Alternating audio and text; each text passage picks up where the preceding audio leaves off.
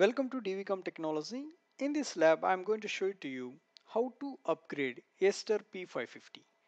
So make sure that before you are going to upgrade the firmware guys, let's go and have a look.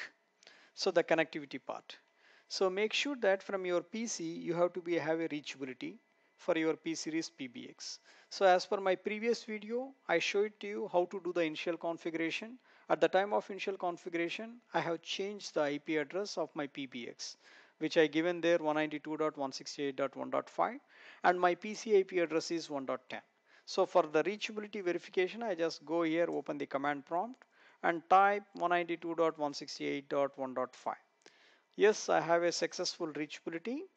Now open the browser.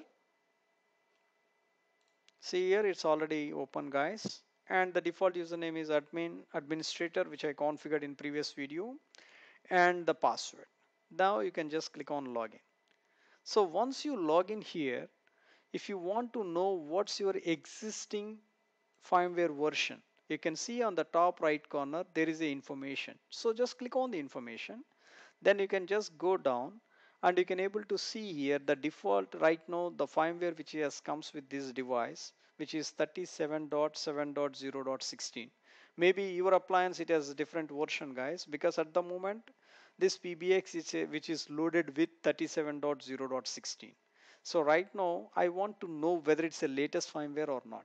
Because again, people they have a question that before you are going to you know download the latest firmware, do we require any agreement or any contract? No, you don't require any agreement on contract guys. So simply what you have to do, just go to the Yeastar website www.yeastar.com then after that go to the resource then you can see here there is a firmware. Just click on the firmware. Then after that go down and you can see here to download the P series firmware. As I told you the P series has a two versions guys. One is the appliance other one is the software. Cloud is also there that we will talk about later. But right now we are focusing on the appliance model. So right now I'm trying to upgrade the firmware for P550 if you see here P550 P560 P570 you can use the same firmware version guys. So that's why whatever configurations I'm trying to do it here it's the same for the remaining three models. So you nothing to worry. So don't worry about it because the firmware version is the same for these three bundles. Now you can download this firmware. Already I have downloaded guys. Either you can download in the zip format or you can download in the bin. Choice is yours. There is no problem for it. Then once you downloaded the firmware you can go back to your PBX and if you see here in the down there is a maintenance. So click on the maintenance and click on the upgrade.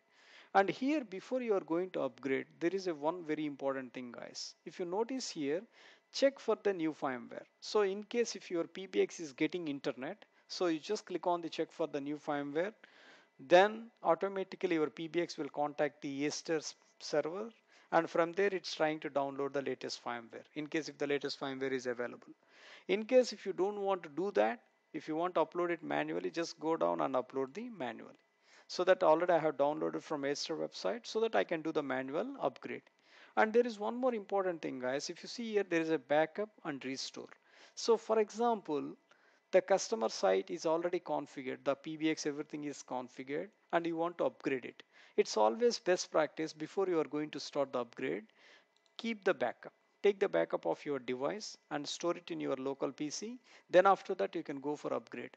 Because you know if you find any issues, maybe the customer will come back and tell you after upgrading there is something is not working. So that you need to figure it out why it's not working. So to avoid these kind of issues, better before you are going to upgrade the firmware, it's always recommends that take the backup and keep it ready. So now I'm going to upgrade this. So just click on the browse then after that, if you see here, already I have downloaded the firmware, which is dot .bin file. Say open. Then after that, click upgrade. Then now see here, it's going to upgrading now.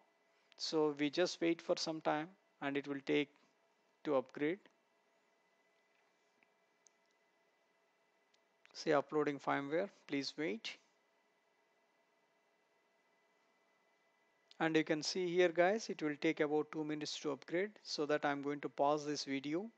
Once it's done I'm going to be show it to you guys. Welcome back guys. It's successfully upgraded and let's go and verify it. So go to the dashboard again and click on the information here. You just go down and you can see here it's successfully upgraded guys. So this is what how it's going to upgrade.